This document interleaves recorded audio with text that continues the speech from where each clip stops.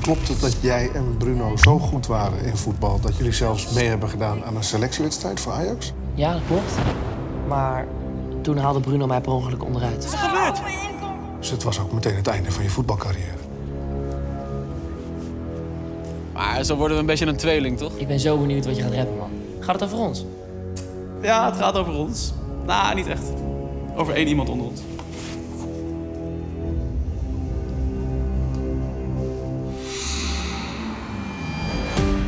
WhatsApp Daan Boom.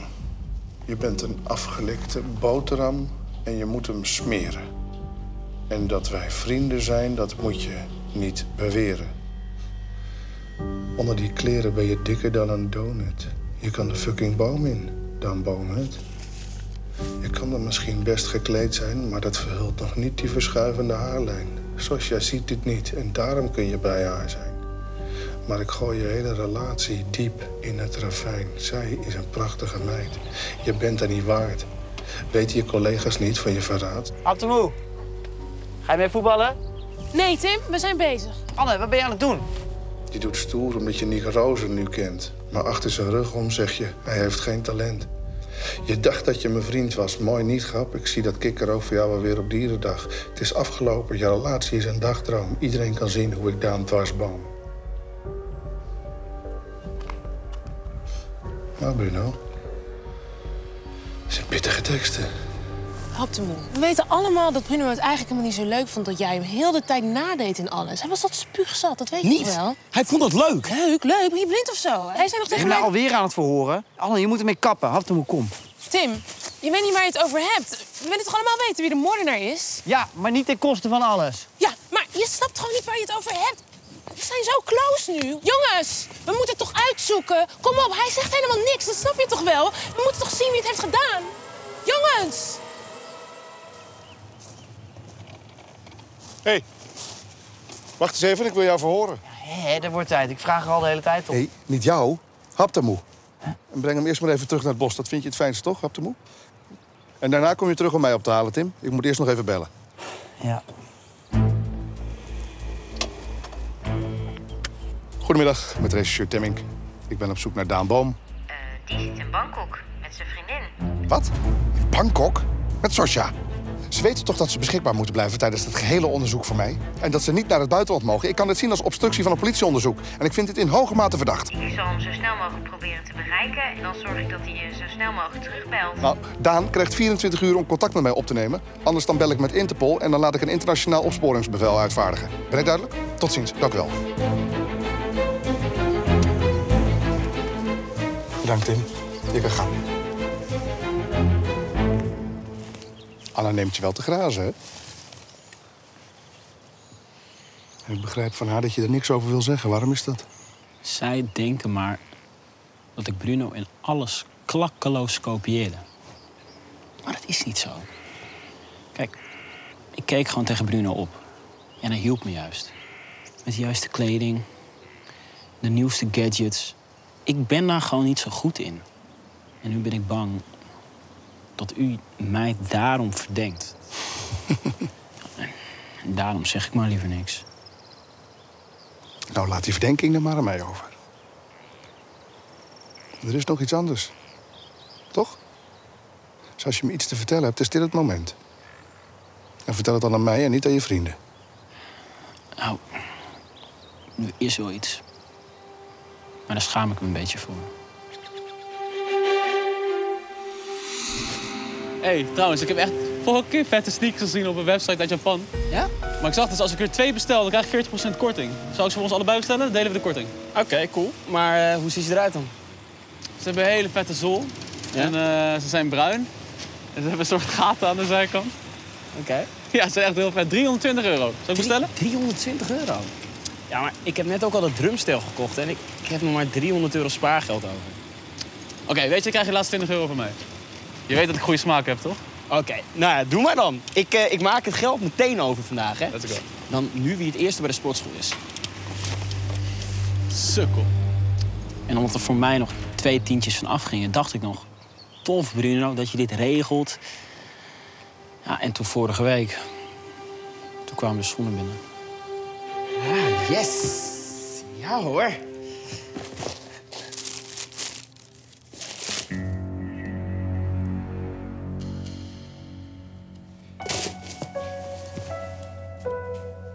Hey man. Hey Bruno, ehm, heb jij die schoenen al binnen? Eh, nee, ik heb ze nog niet, man. Jij wel? Ja, ik, ik heb ze al binnen en ze zijn een beetje apart. Echt? Lelijk. Maar jij eh, hebt ze toch ook besteld? Eh, nee, Haftemoe, ik heb ze niet besteld. Hoezo is het niet? Gast, je moet niet alles kopiëren wat ik doe en wat ik zeg en wat ik koop, oké? Gewoon mee kappen nu. Wat? Maar eh, heb je hem nu gewoon genaaid? Jongen, ik noem het eerder een spiegel voorhouden. Wat ben je aan het doen?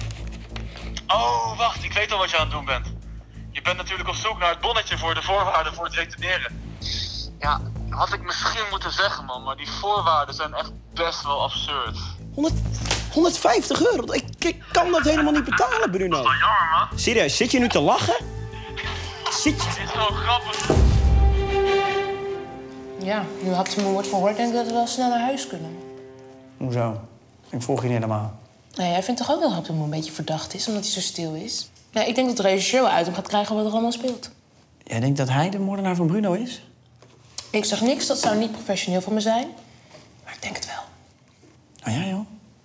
Ja, ik dacht eerst dat Nick het was. Want hij had natuurlijk een motief. Door toedoen van Bruno kon hij niet meer voetballen bij Ajax. Maar ja, hij zegt dat Bruno er ontzettend veel spijt van heeft. Ja, en wij waren er niet bij, hè? Dus wij kunnen het niet weten. Ik was er wel bij. Wat bedoel je? Ja, wat ik zeg, ik was er wel bij. Ik zat bij Bruno en Nick op de basisschool. Dus je kent ze al zo lang? Ja, we gingen altijd met z'n drieën om. En toen zij die selectiewedstrijd bij Ajax hadden... toen ging ik mee om ze aan te moedigen.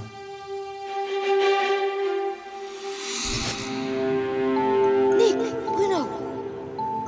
Succes, hè? En eh, heb je dan ook eh, dat ongeluk gezien? Ja, min of meer. Min of meer? Toen Nick en Bruno aan het trainen waren... toen... toen zag ik een leuk meisje. Oké jongens, we gaan even een balletje overschieten. Laat me zien wie je kunt. Hallo. Kom je hier vaker? Echt? Is dit je openingszin? En toen hoorde ik ineens Nick gillen van de pijn. Wat is er gebeurd? Wat is er gebeurd? Ik begrijp dat jullie ze niet zo mooi vinden, maar ik vind ze zo gek niet, hoor. Tuurlijk, het is een rotstreek van Bruno. Was je erg boos? Eerst wel. Toen vond ik het echt niet leuk. Maar ja, later begreep ik hem wel een beetje. Maar ik was wel al mijn spaargeld kwijt, hè? En waarom draag je ze dan eigenlijk? Al mijn geld zit hierin, hè? Dus ik doe maar net alsof ze te wow zijn in Japan. Zeg, de Moe, even iets anders. Ehm, ik heb een beetje honger. Zullen we pizza's bestellen? Schrijf jij verstopt welke je wil hebben? Doe mij maar pizza margarita. Schrijf het maar even op. Anders moet ik alles onthouden.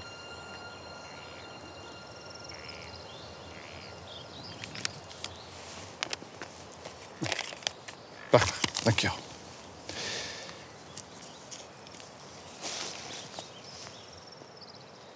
Voordat wij gaan, zou ik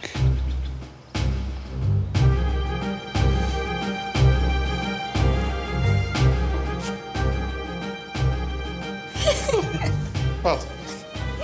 Ik vind ze wel leuk. En ze lopen lekker. Zeg, ik wil de pizza's bestellen. Kun jij vast opschrijven welke jij wil hebben, Tim? Oh. Eh, ik neem pizza tonno. Schrijf even bij dat ik lasagne wil. Schrijf dat zelf maar even op, Anne. Tim is toch al bezig? Je kan toch gewoon even doen wat ik vraag?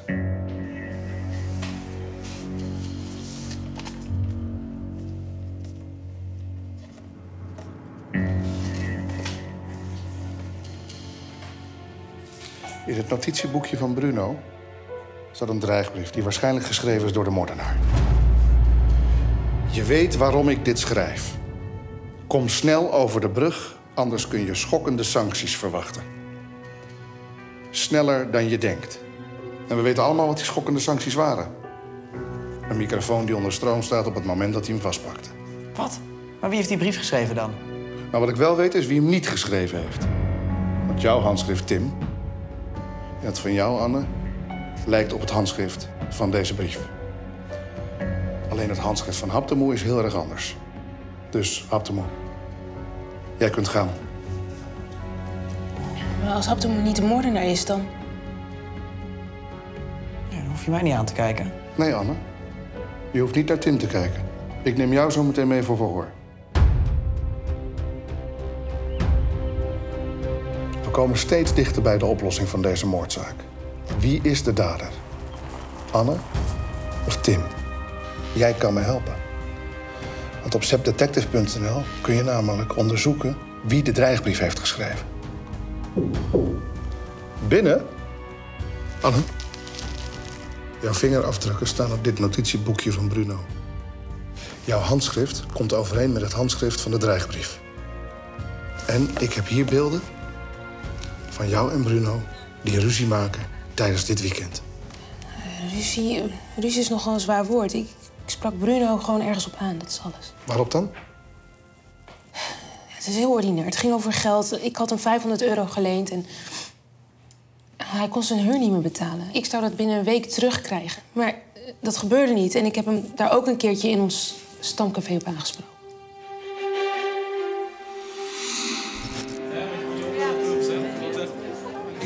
Jij spreekt mij nu aan. Bruno, kan ik je even spreken? En anders heb je een probleem. Bruno. Ja? Zo doe ik dat. Ik vind het heel vervelend om dit weer te moeten vragen, maar wanneer krijg ik die 500 euro van je terug? Oh ja, ja, dit is een probleem op mijn werk. Dus iets met de administratie en zo. Dus ik krijg mijn loon pas volgende week. Waarom heb je het nu nodig?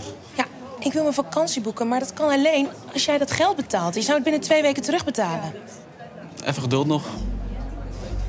Nou, sorry hoor, maar ik wil niet zeuren, maar je bent net naar de kapper geweest en dit blouseje, dat herken ik ook niet. Je hebt het geld wel. Weet je, je hebt gelijk. Ik vind inderdaad dat je enorm aan het zeuren bent. Dat jij je vakantie niet kan boeken is jouw probleem, ja? Wat ben je voor zeikwijf geworden opeens? Je stinkt uit je bek. Poets je tanden eens. Wat? Jongens! Rondje voor de hele zaak! Ik betaal! Maar nu heb ik het geld nog steeds niet en daar ging onze woordenwisseling over. Maar ik heb hem niet vermoord. En dat moet ik dan zomaar geloven. Hm? Hij heeft je geld niet terugbetaald, jij kan geen vakantie boeken. En zet je verluld en overstaan van iedereen. Dat lijkt me een goed motief. Waar was jij tussen 6 uur 21 en 6 uur 25 tijdens het diner? Huh?